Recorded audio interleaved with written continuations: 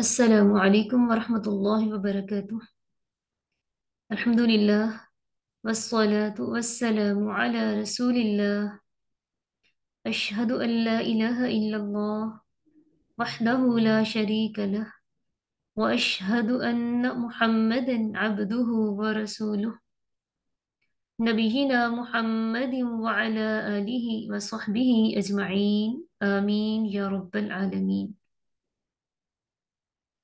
सबसे पहले तो आप सबको रसूलुल्लाह सल्लल्लाहु अलैहि वसल्लम की वसीयत के मुताबिक लिसानुल कुरान बेसिक कोर्स के सबक नंबर बत्तीस में खुश आमदीद। मैं हूँ आपके साथ मुहिबुद्दीन व शरिया कॉलेज से आपकी बहन बरीरा अता। अल्लाह ताला से दुआ है, अल्लाह ताला हमें मिलकर इस क्लास का बतौर ख़ास कुरान का हक अदा करने की तोफीक अता फरमाए।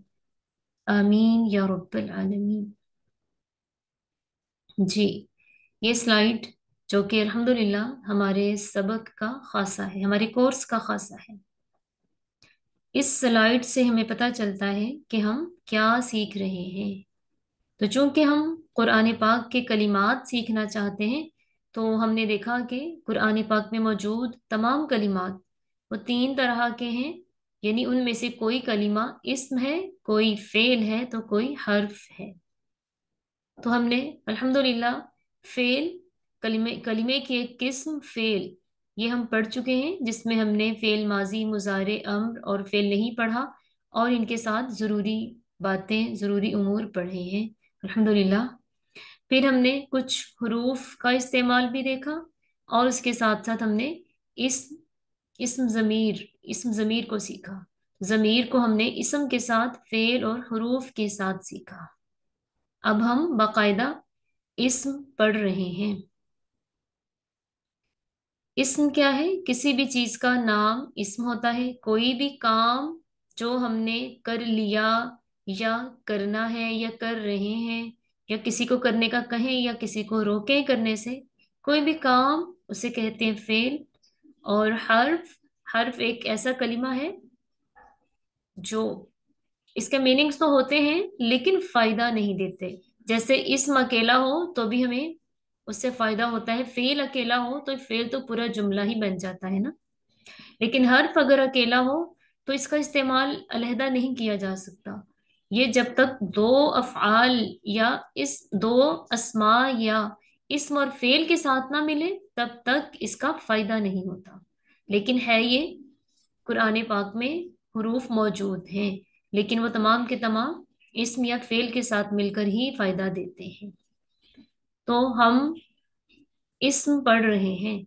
तो हमने देखा कि इसम दो तरह से होता है, इसम ज़ाहिर, नाउन और इसम जमीर, यानी नाउन। तो परो नाउन, यानी असमाय जमायर हम पढ़ चुके जो कि दो तरह से थे।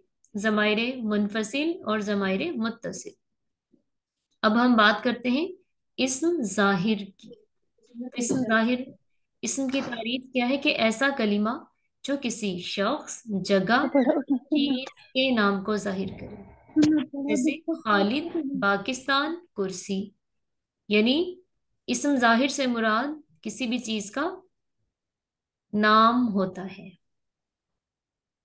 फिर हमने देखा कि अगर हम इसम वाले कलिमात को समझना चाहते हैं, जैसे हमने जब अफआल पढ़े थे, उसमें भी हमने देखा था कि सीगे को पहचानने के लिए हमें तीन चीज़ों की ज़रूरत थी। फेल वाले सीगे को समझने के लिए हमें तीन बुनियादी इस्तलाहात को समझना था।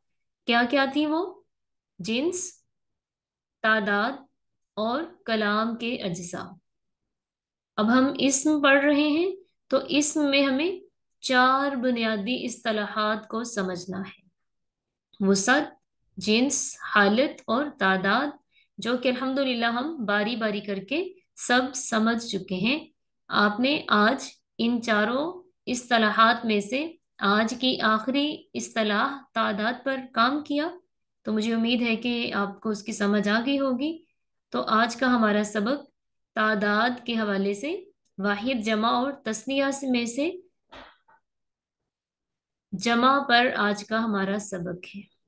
कल हमने ये सबक पढ़ा था कि हमें ये समझ आ जाए कि इसम तादाद के एतबार से कैसा होता है, यानी वाहिद तस्निया और जमा की क्या क्या अलामत होती हैं। तो आज हम मजीद जमा के बारे में पढ़ेंगे। तो मुझे अल्लाह ताला से उम्मीद है कि इन अगर हम आज के सबक को तवज्जो देंगे तो इनशाला क्लियर होगा। जी तो जमा जमा की भी कुछ अकसाम है। जमा की अकसाम, पहली है जमा सालिम और दूसरी है जमा मुकसर जमा सालिम सालिम जैसा कि लफ्ज से ही मालूम हो रहा है, सालिम यानी सलामत रहने वाला। सालिम का माना टूट फूट से महफूज, जिसमें कोई तब्दीली ना हो। इसका मतलब है जमा सालिम से मुराद वो जमा है जिसके वाहिद इसम से जमा बनाते हुए वाहिद की शक्ल सलामत रहे। जैसे मुस्लिमुन से मुस्लिमून। जैसे हमने पीछे पढ़ा कि जमा में वाउ नून जमा की अलामत होती है। ठीक है? तो वो कैसे बनता है? वाहिद के आखिर पे मुस्लिमुन तो मुस्लिमूना तो ये मुस्लिम पूरे का पूरा मौजूद है। इसमें कोई भी कमी बेशी के बगैर ही जमा बन गई है। तो ये है जमा सालिम। फिर दूसरी किस्म जमा की है, जमा मुकस्सर। मुकस्सर का माना है टूटा हुआ। तो जमा मुकस्सर वो जमा है जिसके वाहिद इसम से जमा बनाते हुए वाहिद की शक्ल सलामत ना रहे। जैसे मस्जिदुन, इसकी जमा है मसाजिदु। तो आप देखिए मस्जिदुन, इसमें कितने अल्फाज हैं? मीम, सीन, जीम, दाल। चार हरूफ हैं इसमें, मस्जिदुन। लेकिन इसकी जमा हुई मसाजिदु। तो ये पाँच हरूफ हो गए। इसमें एक अलिफ का इजाफा हो गया है। यानी कि इसमें वाहिद की शक्ल सलामत नहीं रही, टूट गई है। तो ये जमा मुकस्सर है। जमा मुकस्सर ऐसी जमा जिसमें वाहिद की शक्ल टूट जाती है।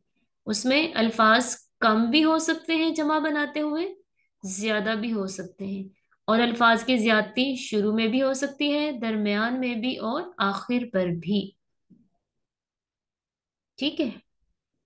फिर मजीद हम देखते हैं कि जमा सालिम, इसके भी आगे दो अकसाम हैं, जमा मुजक्कर सालिम, जमा मुन्नस सालिम।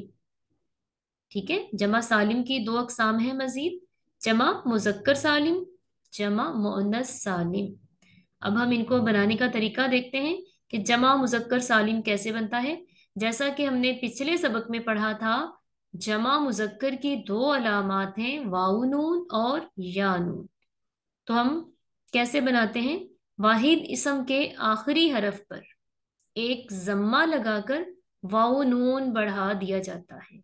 मसलन मुस्लिमुन से मुस्लिमून। मुस्लिमून वाहिद है। इसके आखिर में हमने वाउ नून लगाया और वाउ नून से पहले पेश आ गया। तो ये बन गया मुस्लिमुन से मुस्लिमूना।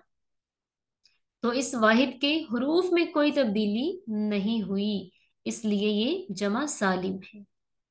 इसी तरह वाहिद इसम के आखिरी हर्फ पर एक कसरा लगाकर या साकिन नून मफतूह बढ़ा दिया जाता है।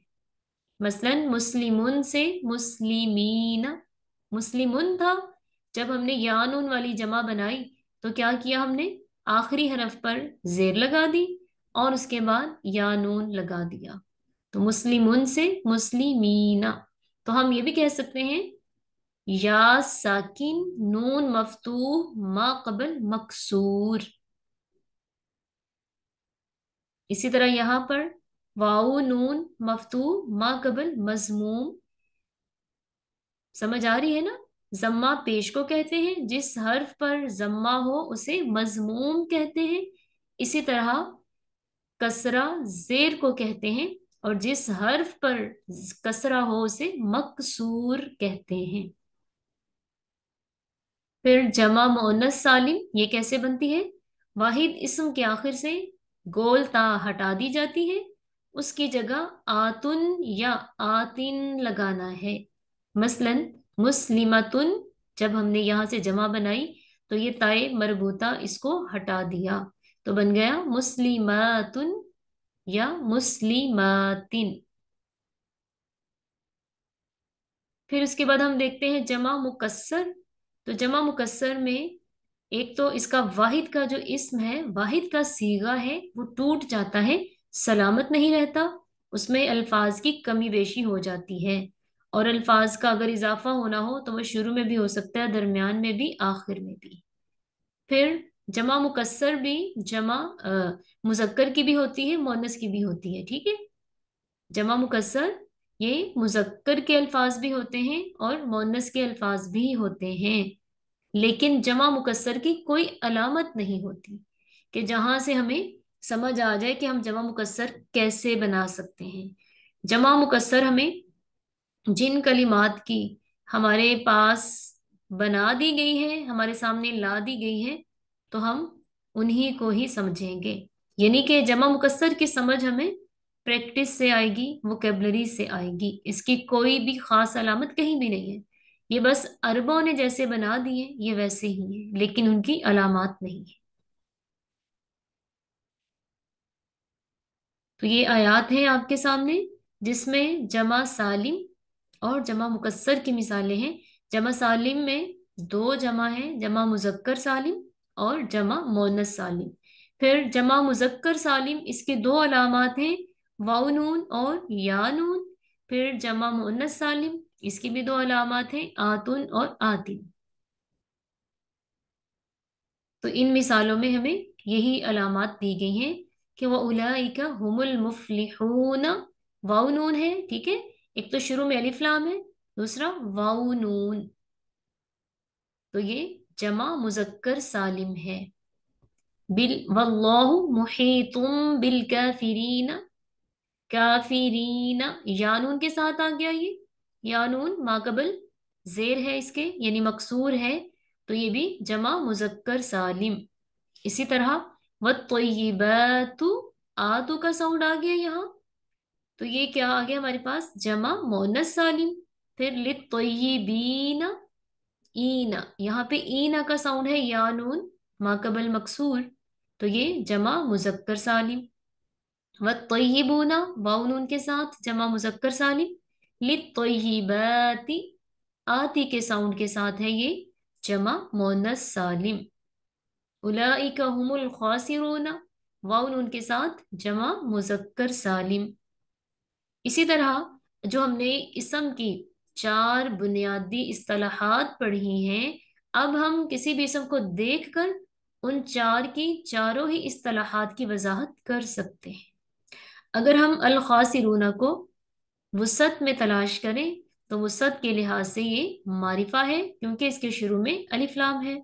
फिर जिन्स के लिहाज से देखें तो ये मुजक्कर है। क्यों? क्योंकि इसमें मोनस की कोई अलामत मौजूद नहीं है। और फिर एराब के लिहाज से देखें तो यहाँ लफ्जी एराब में से हरफी एराब वाउनून है। तादाद के लिहाज से देखें तो ये जमा मुजक्कर सालिम है, क्योंकि उसकी अलामत वाउनून है। तो चारों इस्तलाहात पूरी हो रही है ना? तो ये आप सबने इस तरह से इसकी प्रैक्टिस करनी है इनशाअल्लाह फिर अल खबीतु लिल खबीतीन खबीतात यहाँ भी देखिए, आतु जमा मुजक मोनस सालिम, खबीतीन ईना के साउंड के साथ जमा मुजक्कर सालिम वल खबीतून वाउनून ऊना का साउंड है, जमा मुजक्कर सालिम लिल खबीथाती आती का साउंड जमा मुअन्नस सालिम मजीद हम देखते हैं, अब इस स्लाइड में आपको जमा मुकस्सर की मिसालें मिलेंगी। देखिए वअन्नल मसाजिद लिल्लाहि। मसाजिद। मसाजिद। तो ये जमा मुकस्सर हो गई।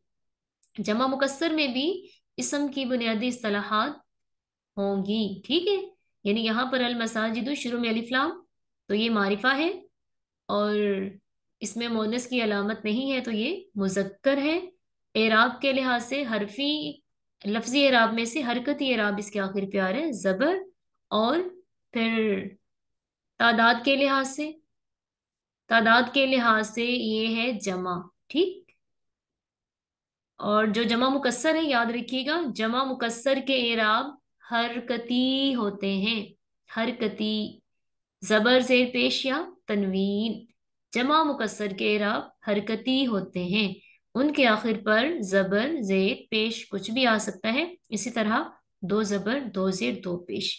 फ़र्क ये अलिफ्लाम या अलिफ्लाम के बगैर से ही होता है। जैसे अल मसाजिदा यहाँ शुरू में अलिफ्लाम आ गया है तो आखिर में जबर आ गई है। अगली मिसाल में देखिए वह मफातिहुल गैबी मफातिहु, इसका माना है चाबियाँ, जिसकी वाहिद है मिफ्ताह, मिफ्ताहुन मफातिहु। तो आपने देखा, मिफ्ताहुन देखिए कैसे कलीमा लिखा जाएगा, मिफ्ताहुन तो जमा बन गई तो मिफ्ताह का सीगा टूट गया है, मफातिहु। अब इसके आखिर पे पेश आ रहा है। फिर वअमददनाकुम बिअमवालिन अमवाल। ये किसकी जमा है? माल की। मालुन अमवालिन। मालिन अमवालिन। ठीक है? अब देखिए, माल और अमवाल फ़र्क आ गया ना? वाहिद का सीगा टूट गया है तो ये जमा मुकसर है। इसके शुरू में अलिफ्लाम नहीं था तो आखिर में तनवीन आ गई। जिस तनवीन ने बताया कि ये इसम नकिरा है। मोनस की अलामत कोई नहीं है तो ये इसम मुजक्कर है। फिर एराब के लिहाज से हरकती एराब है और तादाद के लिहाज से ये जमा है, जमा मुकसर क्योंकि जो जमा सालिम है ना, जमा सालिम, वो आपको अलामत पता चल गई है ना? वाउनून यानून और आतुन, आतीन के साउंड के साथ यही जमा है। जो फिर जमा उसके अलावा होगी वो जमा सालिम है। और जमा सालिम के एराब हरकती याद रखिएगा, ठीक है? जमा सालिम के एराब हरकती होते हैं। फिर यूसीकुमुल्लाहु फ़ी औलादिकुम, औलाद। वलद की जमा है औलाद। तो यहाँ भी वलद, औलाद। कितना फ़र्क आ गया है ना, वाहिद और जमा में? वाहिद का सीगा टूट गया है तो जमा मुकसर अब यहाँ पर हम देखेंगे कि ये मारिफा है या नकिरा? इसके शुरू में अलिफ्लाम भी नहीं है, आखिर में तनवीन भी नहीं। तो आगे देखिए इसके बाद जमीर मुतसिल आ रही है। तो जब भी कोई इसम जमीर मुतसिल से मुलहक होता है तो वो मारिफा ही होता है। खास कर दिया जाता है ना, औलादिकुम, तुम्हारी औलाद। तो ये खास हो गया। फिर, या अनफुसकुम अनफुसा ये जमा की, जमा का कलिमा है, जिसका वाहिद है नफ्स। नफ्सुन अनफुसु। ठीक है? नफ्सुन अनफुसु। नफ्सा अनफुसा। नफ्स की जमा है अनफुस। नफ्स वाहिद, जब जमा बनी है तो आपने देखा इसमें अल्फाज की ज्यादती हो रही है और ये शुरू में अलिफ बढ़ रहा है।